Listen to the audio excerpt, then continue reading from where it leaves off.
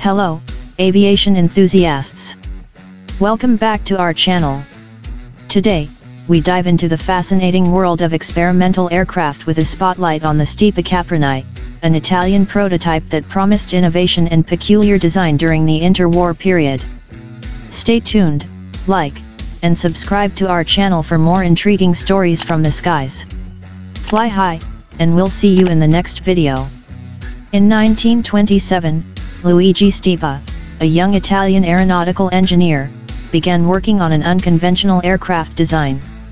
Stipa's curiosity led him to explore the Venturi effect, a principle that describes the reduction of fluid pressure and the increase in velocity as it passes through a constricted section of a pipe. Stipa theorized that this principle could be applied to aircraft to enhance their performance. From 1928 to 1931, Stipa conducted extensive tests at the Aerodynamic Laboratory in Rome, using wind tunnels to determine the optimal shape for his tube-shaped fuselage, engine placement, and propeller speed. By 1931, he was confident enough in his findings to build a small working replica and publish his research in the Rivista Aeronautica journal.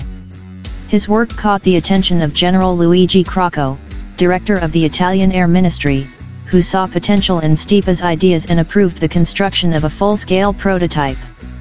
The task of building the test aircraft fell to the Caproni aircraft manufacturer in Milan Taliedo.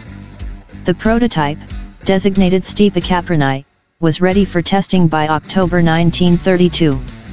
Despite its unusual appearance, the project received support as the pre-war period in Europe was marked by a willingness to explore unorthodox aviation designs. The Stipa Caproni was a two-seater aircraft characterized by its tube-shaped fuselage. It had a simple wooden construction covered in fabric, with wings mounted centrally on each side. The 120 HP de Havilland Gipsy 3 engine was positioned inside the fuselage, which functioned like a large airfoil. The aircraft also featured a fixed three-wheel landing gear, with two larger wheels in the front and a smaller one at the rear. Testing of the Stipa Caproni began in October 1932 at Monte Celio near Rome. The aircraft performed several successful flights, demonstrating that it could take off and fly without major issues. However, pilots noted several handling problems, the elevator controls were overly sensitive, while the rudder controls were stiff and required significant force to operate. Despite these issues, the aircraft was relatively easy to fly when gliding. The Stipa Caproni weighed 800 kilograms, 1,874 pounds, and achieved a maximum speed of 133 kilometers per hour, 83 miles per hour. It took 40 minutes to climb to 3,000 meters and required an 800 meter airfield for takeoff. Although it demonstrated stability and a unique aerodynamic profile, it did not offer significant advantages over conventional aircraft designs of the time. Despite the initial interest, the Stipa Caproni's potential was limited by its design constraints. Stipa himself believed that the true application of his principles lay in larger aircraft.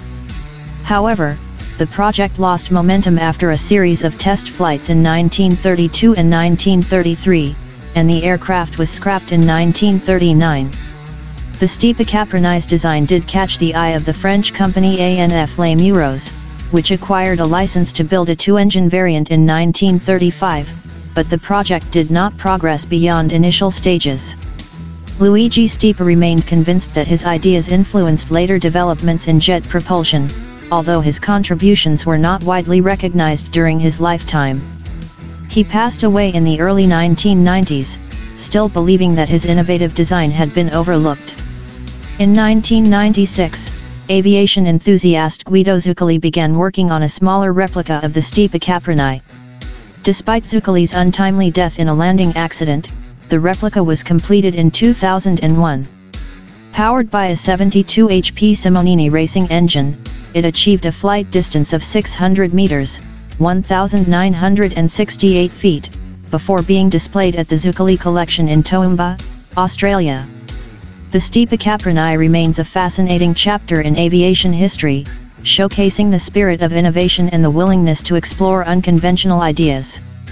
While it did not revolutionize aircraft design, it provided valuable insights into aerodynamics and propulsion. If you enjoyed this deep dive into the world of experimental aircraft, make sure to like this video, subscribe to our channel, and hit the bell icon for notifications on our latest uploads. Thanks for watching, and until next time, keep your eyes on the skies.